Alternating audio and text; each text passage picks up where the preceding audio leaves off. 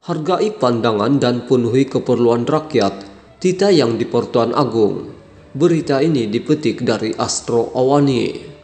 Kuala Lumpur yang di Pertuan Agung Al-Sultan Abdullah Riayatuddin Al-Mustafa Bilal Shah bertita agar setiap pandangan rakyat sewajarnya dihargai dan keperluan mereka dipenuhi.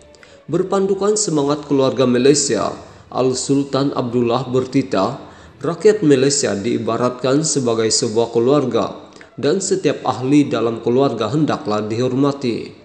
Tidak baginda lagi sekiranya konsep itu diamati sebaiknya, semangat keluarga Malaysia boleh membawa kepada penyatuan dalam sebuah negara yang wujud beraneka kepelbagaian.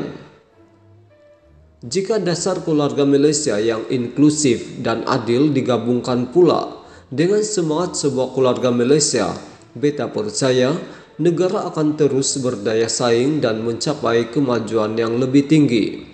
Justru pelaksanaan semua program di bawah dasar keluarga Malaysia hendaklah diteliti, diperhalusi dan ditambah baik dari semasa ke semasa.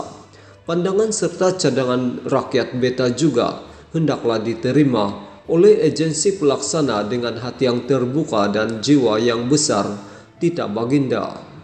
Seri paduka baginda bertidak pada istiadat menghadap dan istiadat pengurniaan darjah kebesaran bintang dan pingat persekutuan bersempurna hari keputraan rasmi yang di Pertuan Agung di Istana Negara.